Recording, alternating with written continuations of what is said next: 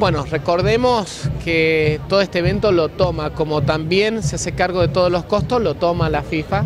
En el transcurso de la semana saldrán a la venta las entradas. Nosotros estamos desde la Secretaría de Deportes colaborando con toda la organización.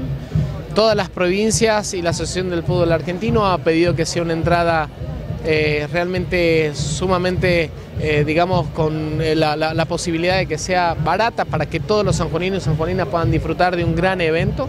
Vamos en ese camino, seguramente que en las 48 horas saldrán a la venta con la posibilidad de que todos los que habiten esta hermosa provincia tengan la oportunidad de participar en este evento, como han sido en cada evento. Siempre en las entradas han tenido una posibilidad de que para que todos los sanjuaninos puedan acceder y para que nosotros a partir de, de la semana próxima ya tengamos esta oportunidad de tener estos partidos, pero sobre todo el más importante que va a ser el 26 de mayo, donde haga la presentación nuestra querida selección argentina. ¿Se saben los valores o todavía no? Va a ir de entre los 2.000 y 4.000 pesos las entradas para que bueno, todos los, los, argentinos, no tan solo los sanjuaninos, puedan disfrutar de este evento.